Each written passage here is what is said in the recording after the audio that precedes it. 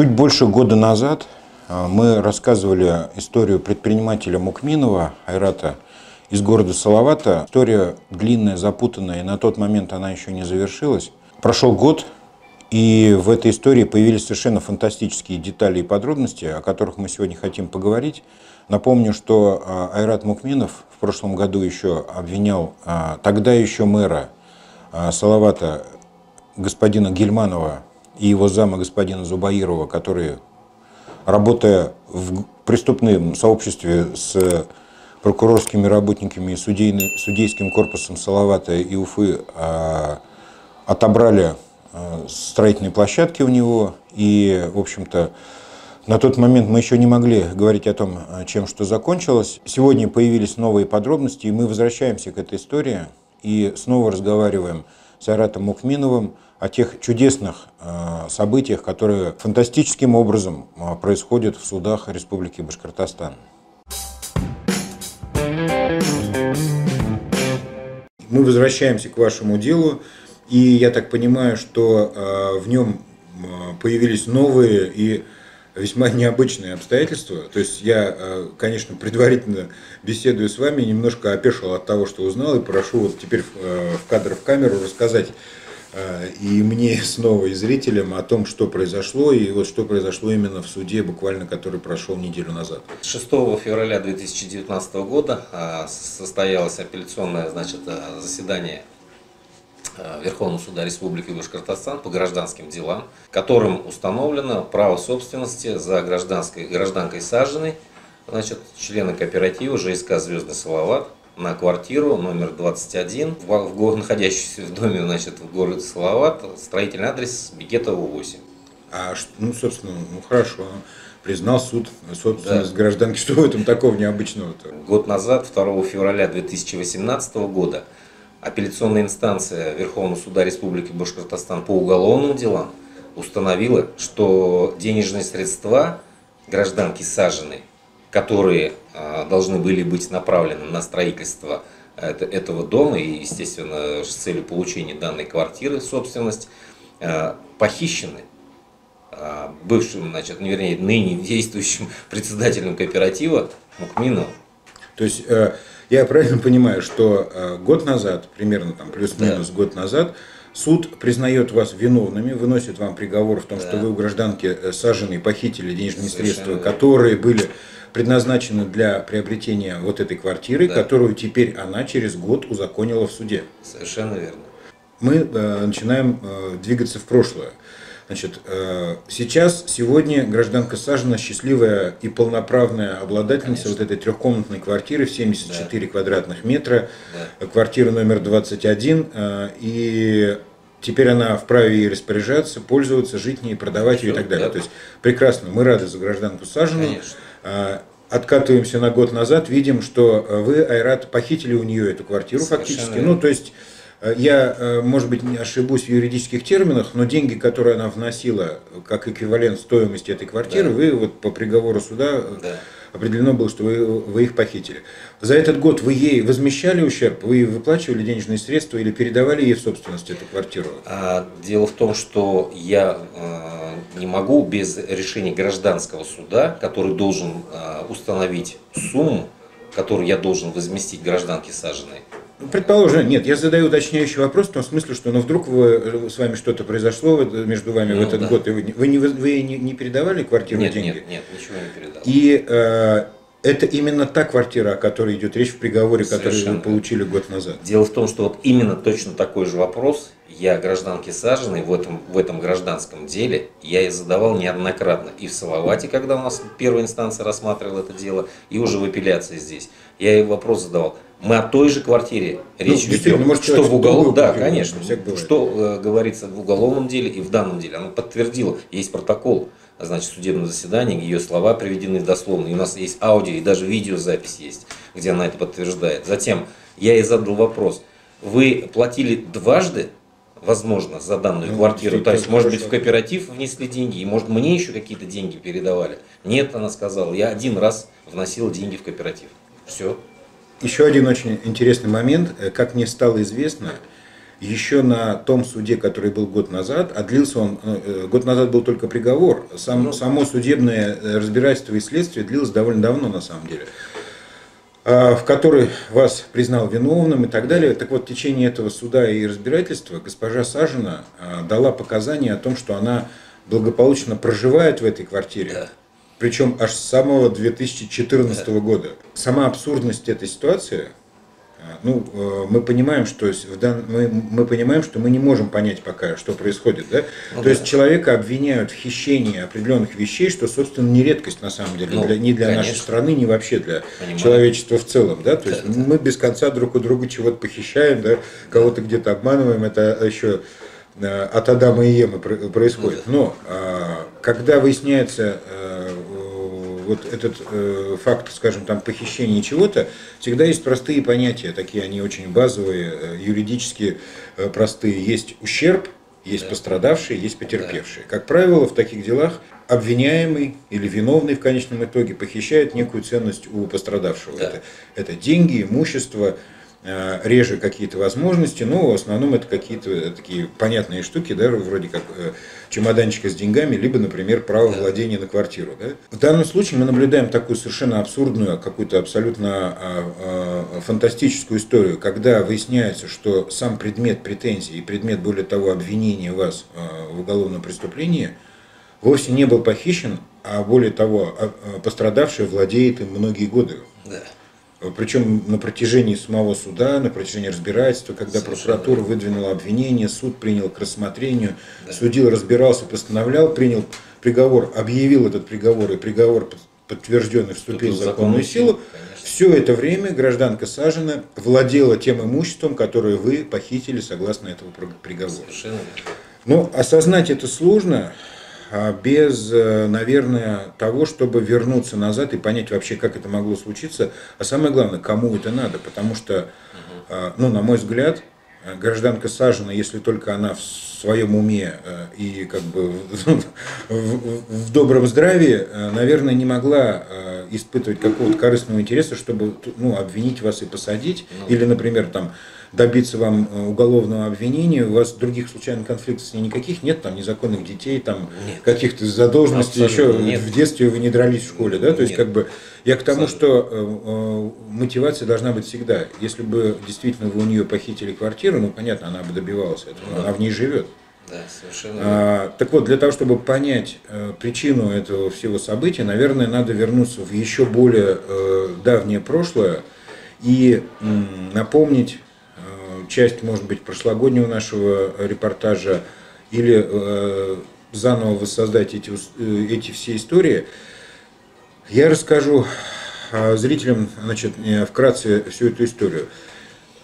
Уже практически 9-10 лет назад господин Мукминов был и остается до сих пор, кстати, председателем некого строительного кооператива ЖСК «Звездный Салават», который предполагал построить в этом замечательном городе некоторое количество жилья, а, привлекая денежные средства граждан. Вот госпожа Сажина была одним из членов кооператива, который, который а, предоставила свои деньги э, для строительства этого дома. Еще в 2012 году началось вот это преследование Мукминова и попытка его значит, э, прекратить его деятельность, э, попытка его посадить в тюрьму и так далее. Для чего вообще, в принципе, как я предполагаю, это делалось, ну, уже на основании того, что мы знаем, например, что происходило дальше. Дело в том, что вот этот дом по улице Бекетова в Салавате, был не единственным объектом строительства ЖСК «Звездный Салават». Там были еще площадки, были еще э, запланировано строительство домов.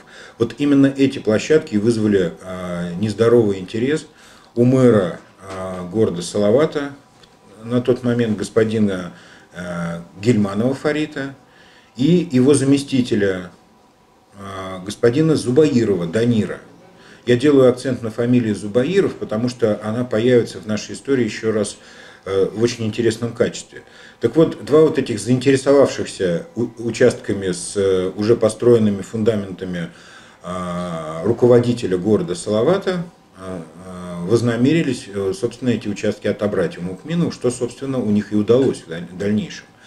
Возбудив вот это дело, по счастливому стечению обстоятельств, заместитель главы э, города Салавата, господин э, Зубаиров Данир, э, имел замечательную родню, а именно господина Зубаирова Руслана, который на тот момент и, по-моему, до сих пор все еще является заместителем прокурора Республики Башкортостан. Семейные связи сработали четко, уголовное дело возбуждали, возбуждали, возбудили.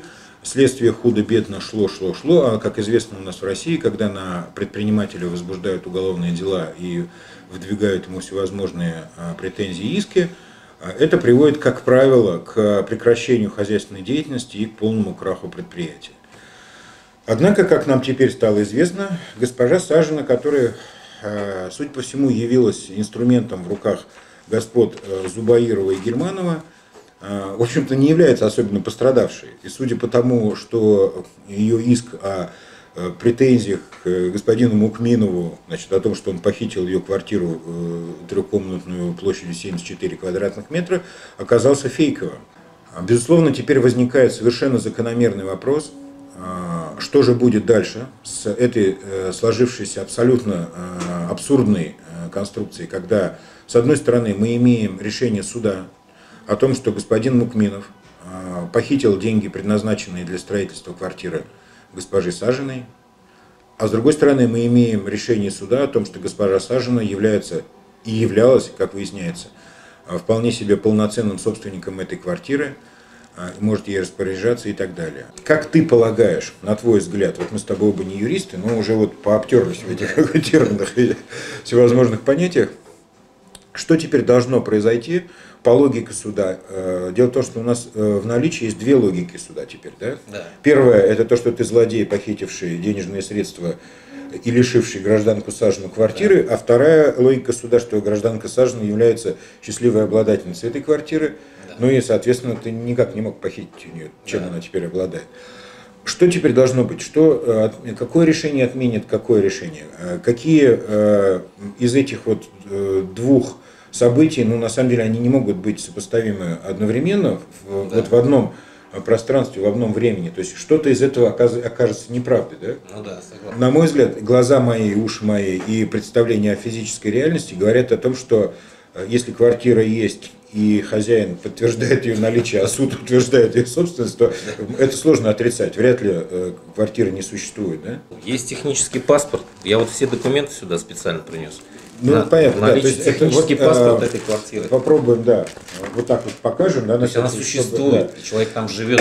Хорошо, что, что должен теперь предпринять суд? Что будешь предпринимать ты? Вообще, куда, э, куда катится правосудие в России? Да? То есть, куда оно теперь прикатится, вот это яблочко правосудия? Ну, честно говоря, э, для меня теперь абсолютно понятно, что налицо деградация значит, апелляционной инстанции по гражданским делам уголов, во-первых, это э, Верховного суда Республики Башкортостан.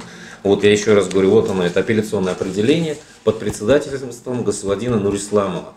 Это тот судья, который, тот судья, который утвердил. неделю назад утвердил. Да, эту совершенно историю, верно. Да, это очень э, замечательный человек. Э, для него не существует понятия преюдиция, то есть, а для него, извините, приговор суда, вступивший в законную силу, имеет преюдиция. Все, иного нет. И не может быть а, Я уж так задам наверное вопрос.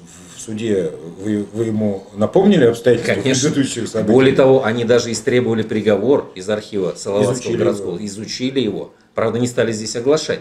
Под Но любыми предлогами. Никак невозможно, видимо, это было. Несмотря на, да, конечно, потому что они же, ну, ну что, ну не, не идиот же, извиняюсь. Нет, э, я предположу, что э, все вот дальнейшие события, то есть когда Гельманов, Зубаиров там завладели этим участком. Кстати да. говоря, они его продали, да, Да, конечно. В 2014 году, несмотря на то, что у нас на тот фундамент, который э, значит, был построен, в который инвестировали мы деньги, ну, там, как да, кооператив, да.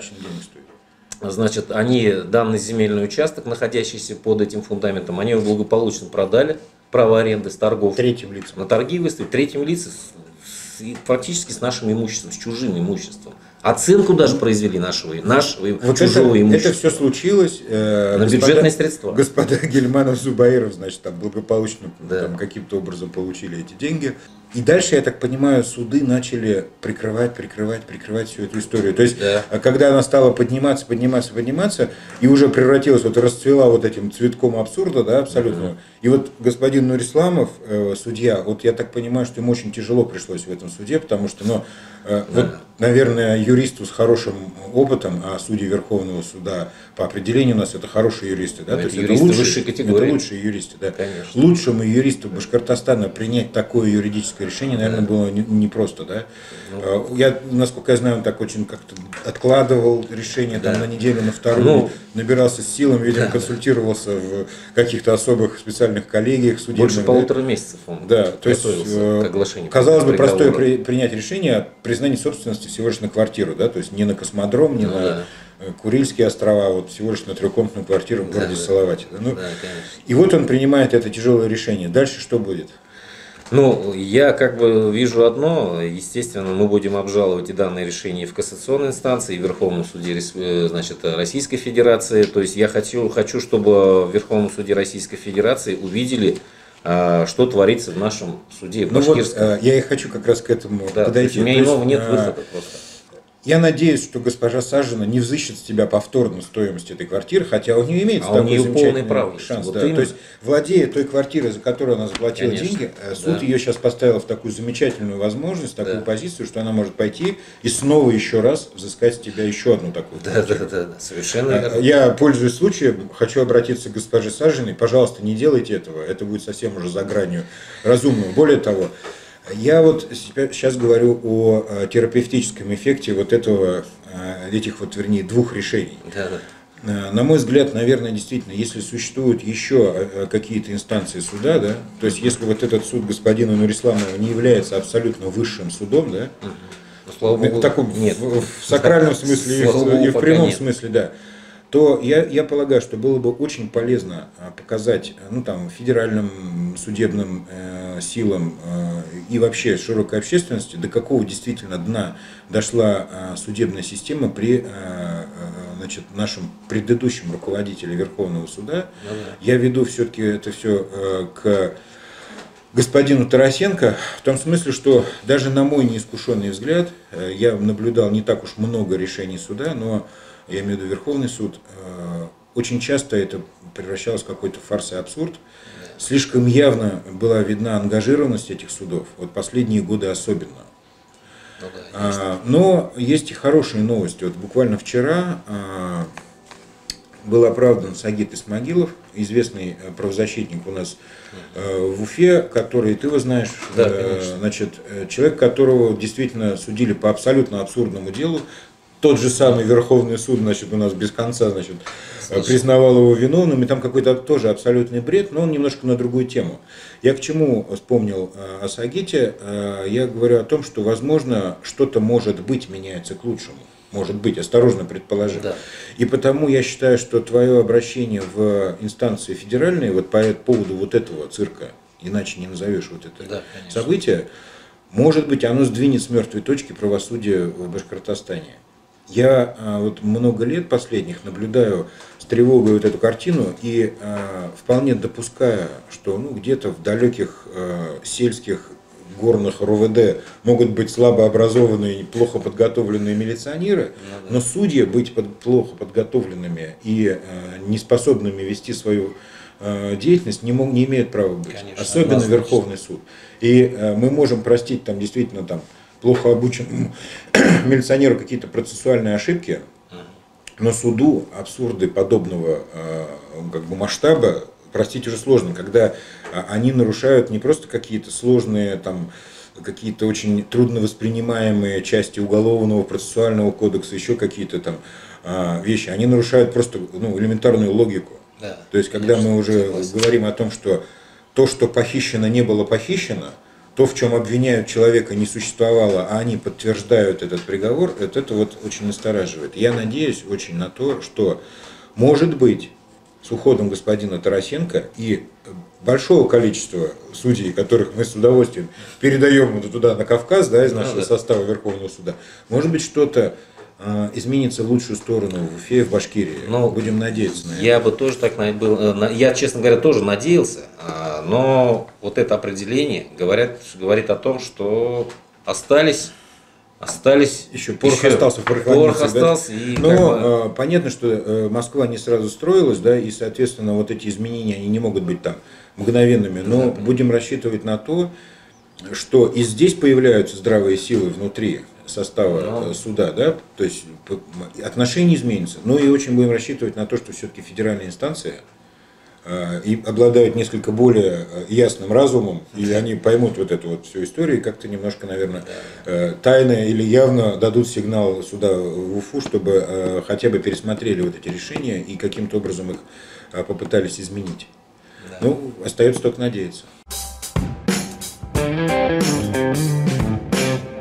Судя по всему, история эта еще не закончилась. А, я очень надеюсь, что она не закончилась в том смысле, что какие-то силы, какие-то судебные силы, я не знаю, там, федеральные, планетарные какие-то должны вмешаться в тот абсурд, который все еще происходит э, в судебной системе э, многострадального Башкортостана. Кто-то должен все-таки привести в себя э, этих людей, которые, по-моему, совершенно окончательно уже потеряли всякие ориентиры.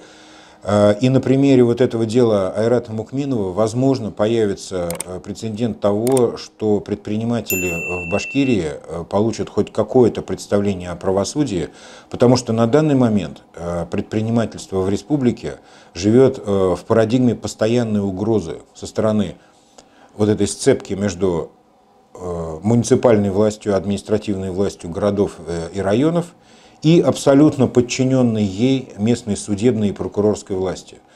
А вот этот конгломерат нужно срочным образом разрушать. Только на независимости вот этих э, судебных э, и э, властных структур может быть построено добропорядочное, нормальное, здоровое общество и вообще возможно какое-то предпринимательство. Сейчас очень много говорится о том, что нам нужен рывок, скачок, там какие-то вот эти вот физические упражнения в плане налаживания нашей экономики, и при этом главными врагами нашей экономики являются администрации районов и городов – и примкнувшие к ним э, в своих корыстных интересах судебные и прокурорские власти. Я очень надеюсь, что на примере э, Айрата Мукминова могут произойти какие-то изменения в этой ситуации.